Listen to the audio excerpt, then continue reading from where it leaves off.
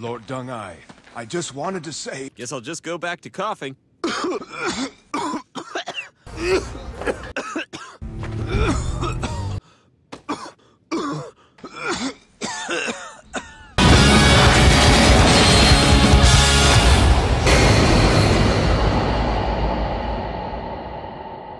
Hey, what's going on everyone? Welcome back to the channel. Welcome back to the series where we're counting down the top Dynasty Warriors characters as of the latest game. Coming at number 77, we have the coughing maniac known as Guo Huai.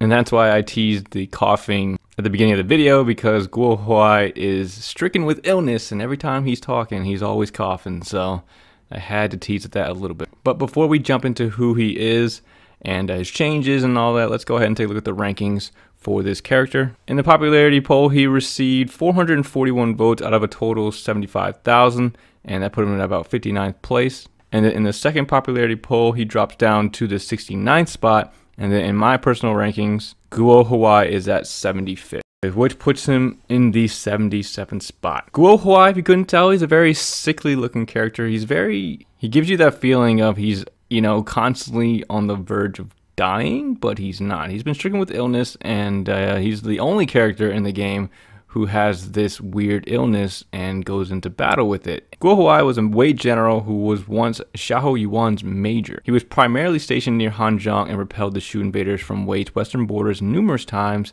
throughout his military career. As a result, he was known to be one of Wei's most tenaciously reliable generals throughout his entire career as he was said to have earned one of the highest military promotions of his time as he started from the bottom ranks.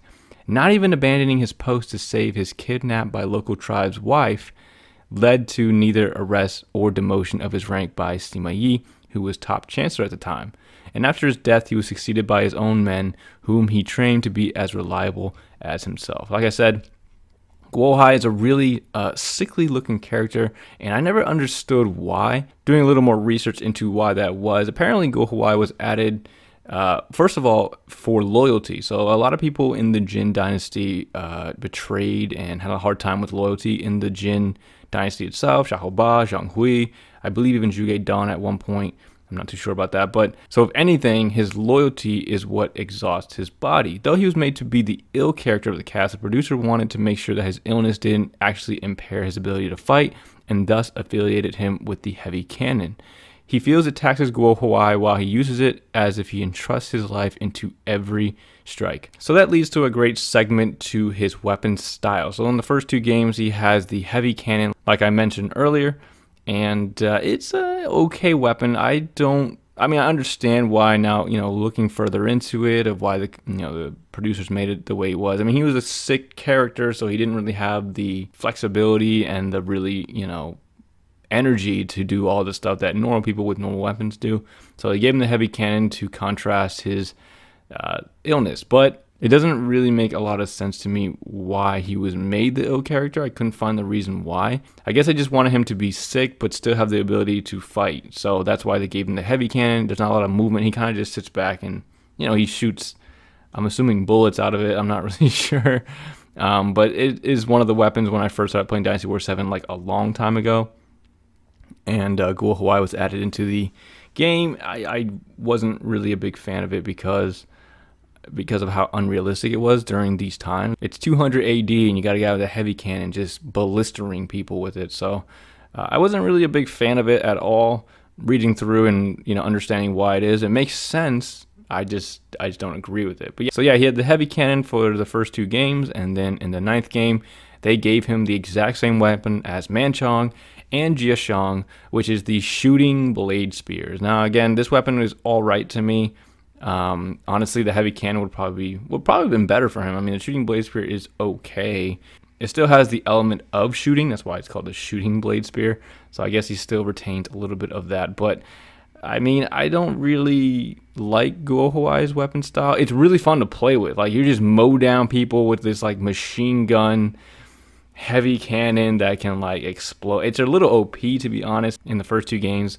And then in Dynasty Warriors 9 he gets the shooting blade spear, which is fine. I mean, it's all right, but it's not my favorite weapon style. Definitely one of the least favorite to me. Just just to me, just how how close I am to the game and how I like the, you know the sword fighting, the spears, and you know axes, all that stuff that people actually use back during that time. So yeah, not much to complain about the weapon style. I just personally didn't like it myself. Now going on to his voice acting, uh, just real quickly, he didn't really have that.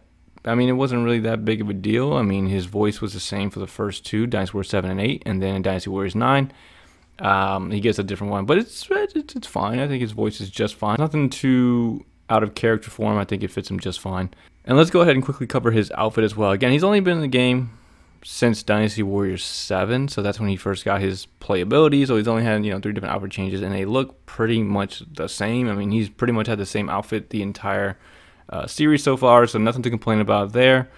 And uh, let's go ahead and jump into the next thing, which is relationships. So Guo Huai has a lot of different relationships in this game. Of course, he has a relationship with Sima Yi, Sima Shi, and Sima Zhao. All three of them are, you know, leaders of this Jin dynasty, starting off with Sima Yi before he gives it off to Sima Shi.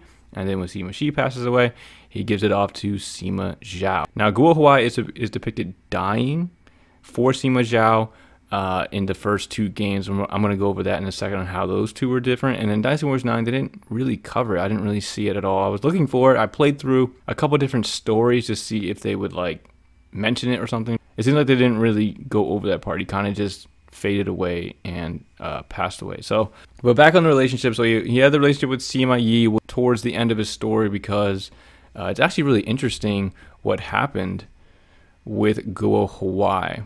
Guo Huai married a younger sister of the Wei general Wang Ling. And uh, in one of the battles, Wang Ling started a rebellion in Shouchun. And you actually get to play this battle in all the games and uh, the rebellion ends up failing and he gets captured and then they put out an order to execute all family members associated with wang ling now guo huai's wife was wang ling's younger sister so it put him in a bind because you know he loved his wife he had five children with his wife it was very difficult for guo huai himself in the game uh, Guo Huai goes to Sima Yi himself and asks for a pardon for the wife. I will do anything that you ask, but I beg of you to please spare the life of my wife. Please. and uh, because of his loyalty, because of his, you know, accolades and all the things that he's done for the Wei Kingdom and for Sima Yi and all their campaigns and stuff like that, Sima Yi in the game actually pardons him, and that's actually what his ending is in Dynasty Warriors 9. Dynasty Warriors 7 8, they don't really mention it. Uh, Dynasty Warriors 7 8, he actually gets killed before uh, that all happens. Sima Yi's actually dead before it as well, so uh, Dynasty Warriors 9, he, that's what his ending is. It revolves around asking Sima Yi, hey, can you, you know, pardon my wife, you know, because it's, uh, you know, she's important to me, which is totally understandable. But According to the historical records, right? So Guo Huai's subordinates and thousands of tribal leaders came to ask Guo Huai to beg the imperial court to spare his wife, but he reluctantly refused. As his wife was being taken away, many people who lined the path to see her off shed tears, tried to grab her hands, and even went to attack the guards to save her. And then Guo Huai's five sons came to see their father and kowtowed until their foreheads bled while begging their father to save their mother. So kowtowing is basically uh, it's a respectful thing that they do, they bow to where their heads touched the ground. So they were banging their heads so much that their heads started bleeding. And uh, Guo Huai, who was moved by his son's you know, actions, changed his mind and ordered his subordinates to bring his wife back. So all the people went after the imperial censors on horseback, caught up with them, brought back Guo Huai's wife within a few days.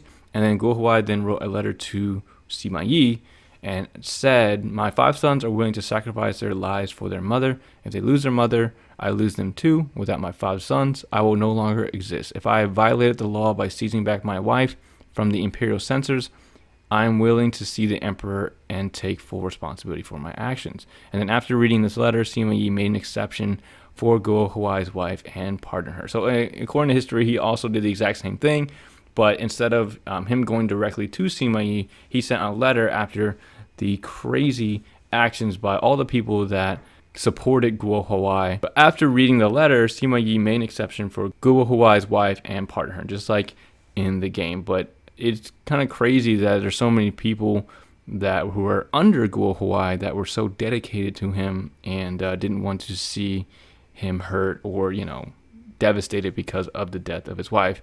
It's kind of crazy, and uh, it's a little um, it's a little interesting. Maybe it was pretty interesting to to find that out about Guo Huai. So Sima Yi, he has he didn't really have that much relationship with Sima Shi. He kind of just did what he wanted, you, you know, to help out, and then he had a stronger relationship with Sima Zhao. He's very sympathetic to Sima Zhao and has no regrets about giving his life for him um, in the Dynasty Warriors 7 and 8 game. So it's kind of crazy that he had a very close relationship with Sima Yi. And then Sima Shi kind of, I mean, he didn't, he just did what he asked him and stuff like that. Didn't, they didn't really have that close relationship. And then with Sima Zhao, he was a lot closer to him, even risking his life to save him in Dynasty Warriors 7. It was kind of crazy. But Guo Huai, he really couldn't. My lord.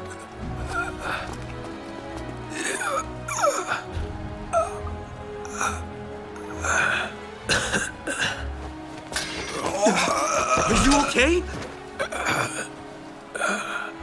I have always walked a fine line between life and death. I fear that the time has come to finally cross that line. I'm so sorry. This. This is all my fault. Stand against your fate and keep moving forward. ah, if only I could have seen you.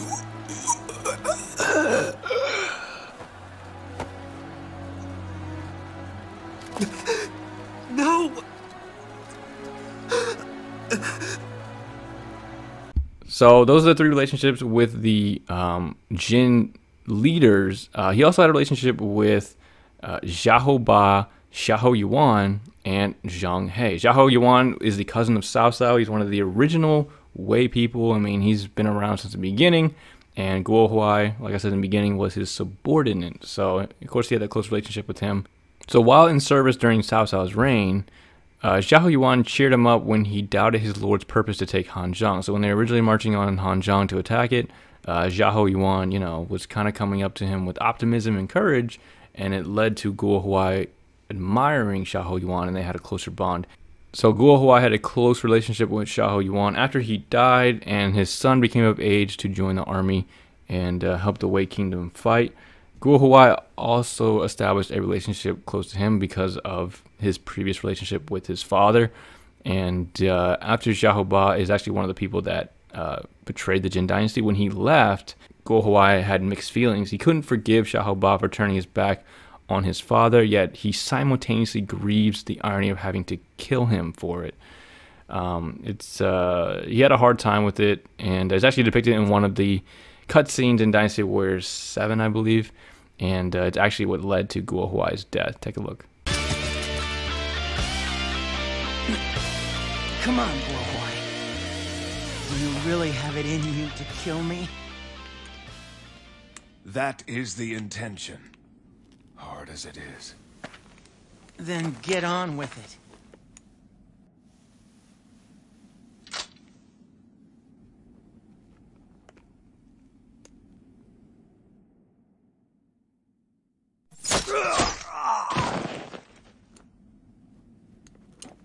What? I must say, that was a most unexpected turn of events. Shu, cannot afford to lose you.